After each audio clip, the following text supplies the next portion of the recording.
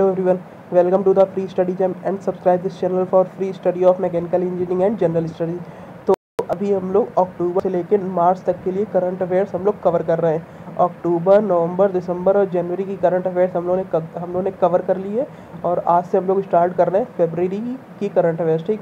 तो इसके बाद हम लोग मार्च की करेंगे और वहीं पर हम लोग इस सीरीज़ को स्टॉप कर देंगे और इसकी जगह हम लोग स्टार्ट करेंगे स्टैटिक जीके ठीक? जैसे हमारा क्या होगा कि करंट अफेयर्स और स्टैटिक जीके दोनों ही पार्ट हमारे कवर हो जाएँगे, ओके? और उसके बाद अगर टाइम अगर कुछ भी मतलब कि टाइम अगर वो बचेगा तो वहाँ पर हम लोग इम्पोर्टेंट क्वेश्चंस कर लेंगे हिस्ट्री जोग्राफी पॉलिटी और इकोनॉमिक्स के ठीक? तो स्टार्ट करते हैं।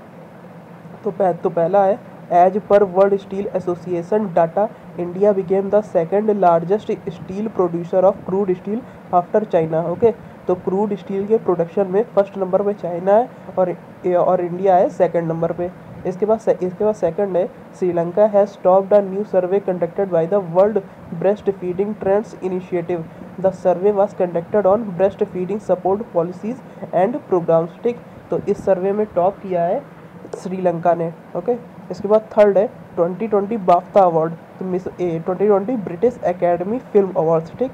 तो इसमें लीडिंग एक्टर में जोइकिन फोइनिस को मिला है जोकर मूवी जोकर मूवी के लिए, और लीडिंग एक्ट्रेस हैं रेनी जेलवेगर किस लिए मिला है? जीडी मूवी के लिए, ठीक? और बेस्ट फ़िल्म है इस बार की 1917 ओके तो इसमें आपको एक बात ध्यान देने वाली ये है कि लीडिंग एक्टर और लीडिंग एक्ट्रेस जोगिन फोनिक्स और रेनी जेलवेगर इन्हीं दोनों को, चाहे वो आपका बाफ्ता अवार्ड हो, चाहे वो आपका सैग अवार्ड हो, या फिर आपका ऑस्कर अवार्ड हो, इन्हीं दोनों को मिला है लीडिंग एक्टर और लीडिंग एक्ट्रेस की कैटेगरी में ओके इसके बाद फोर्थ है ऑस्ट्रेलियन ओपन में मेल मेल सिंगल्स में जो चैंपियन बने हैं, वो हैं नोवाक जोकोविक और वो कहाँ से हैं? वो है सर्बिया से। और फ़ी और फीमेल सिंगल्स में जो चैंपियन है, वो है सोफिया कैनिन और वो बिलोंग करती हैं यूएसए से। इसके बाद फिफ्थ है 2020 ऑस्कर्स अवार्ड जैसा कि मैंने आपको बताया था, सैग, बाफ्ता और ऑस्कर्स इसमें लीडिंग एक्टर और लीडिंग एक्ट्रेस की कैटेगरी में सिर्फ़ जोइकिन फोनिक्स को जोकर मूवी के लिए और और रेनी जेलवेगर को जीडी मूवी के लिए मिला है। ठीक? और और ये ऑस्कर्स अवार्ड में बेस्ट फ़िल्म कौन सी है?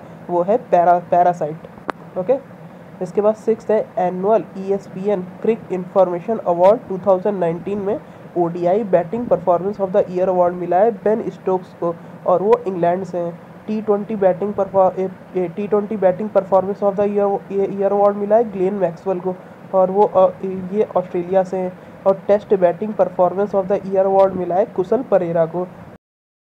और हम करते हैं ओके तो ये हो गया annual E S P N cric info awards 2019 इसके बाद सेवेंथ है इंडिया की rank global intellectual property index 2020 में है 40 एट्थ है बांग्लादेश ने under 19 ICC cricket world cup 2020 जीत लिया है। और फाइनल किससे हुआ था?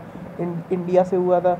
नाइन्थ है India has been ranked at seventy seventh position in the in the sustainability index 2020 okay तो सस्टेनेबिलिटी इंडेक्स 2020 में इंडिया की रैंक है 77 और फ्लोरिसिंग इंडेक्स 2020 में इंडिया की रैंक है 131 इसके बाद टेंथ है ESPN इंडिया अवार्ड्स 2019 तो इसमें देखिए अभी हम लोगों ने पीछे जो ESPN की वो जो अवार्ड्स की बात करी थी वो थे क्रिक इन्फो अवार्ड्स ओके?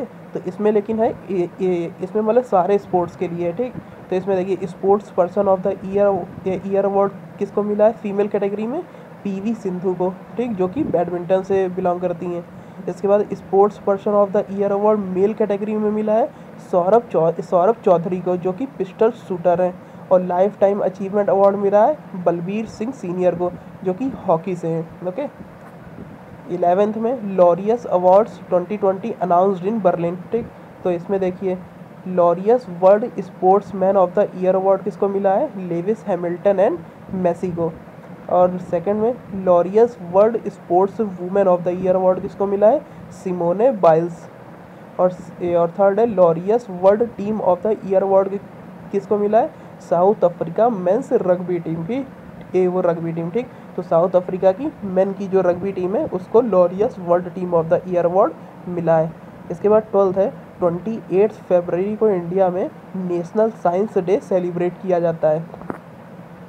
थर्टी वो थर्टीथ है इंडिया की rank Hurun global rich list में है थर्ड ओके तो होरून ग्लोबल रिच लिस्ट में इंडिया की रैंक है थर्ड फोर्टीन है the United States has surpassed China to become India's top trading partner ठीक?